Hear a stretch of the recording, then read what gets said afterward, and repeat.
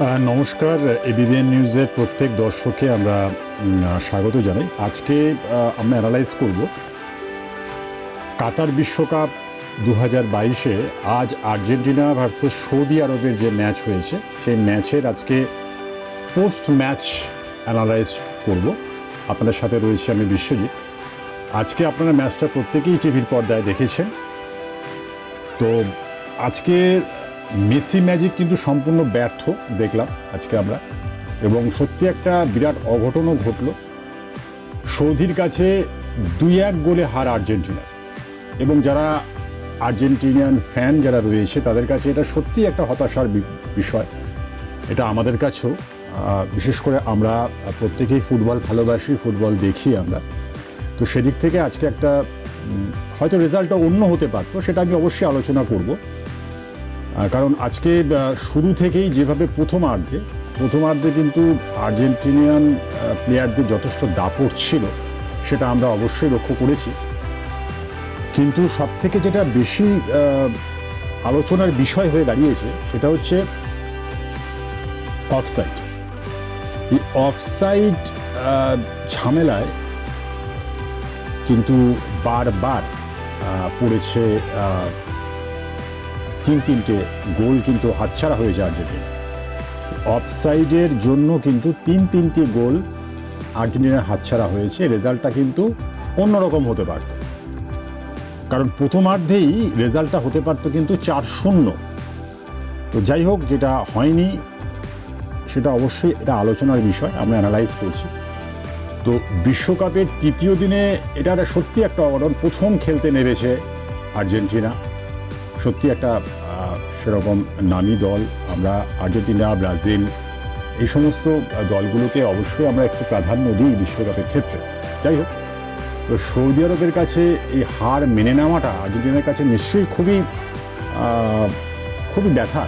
হ্যাঁ বিশেষ করে যারা আর্জেন্টিনিয়ান ফ্যান যারা রয়েছে, তাদের কাছে এটাই এই আজকের এই হারটা অবশ্যই তাদের কাছে যথেষ্ট ব্যথা দিয়েছে, ব্যথা পেয়েছে তারা। খেলার ফলাফল দুই এক। কিন্তু এই ফলাফলটা যেটা একটু আগে বলছিলাম, এই ফলাফলটা কিন্তু অন্যরকম হতে পারে।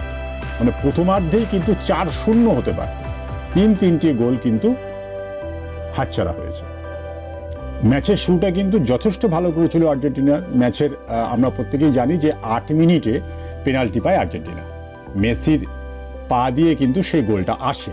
এরপরে প্রথমার্ধে আরও তিনটি, আরও তিনবার সৌদি আরবের জালে কিন্তু বল গড়িয়ে দেয় আর্জেন্টিনা।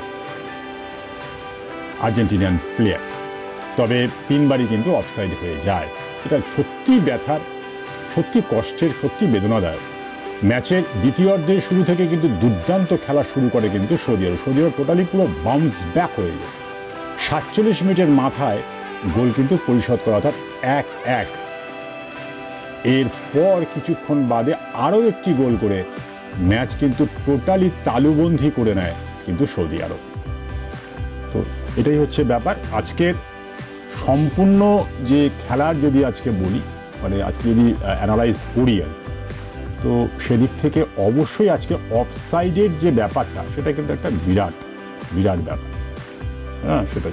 এবং আর্জেন্টিনা আজকের দিনে অবশ্যই ম্যাচের শুরুতে যেভাবে মানে মানে মেসির পেনাল্টির সৌজন্যে এগিয়ে গিয়েছিল সেই পেনাল্টিও কিন্তু যথেষ্ট, অবশ্য আমার বিতর্কের ঊর্ধ্বে নয়। ম্যাচের দশ মিনিটের মানে মেসির কর্নার কিকের সময় বক্সের বিতর্কত একটা ফাউল করে করেন হচ্ছে আরবের ফুটবলার।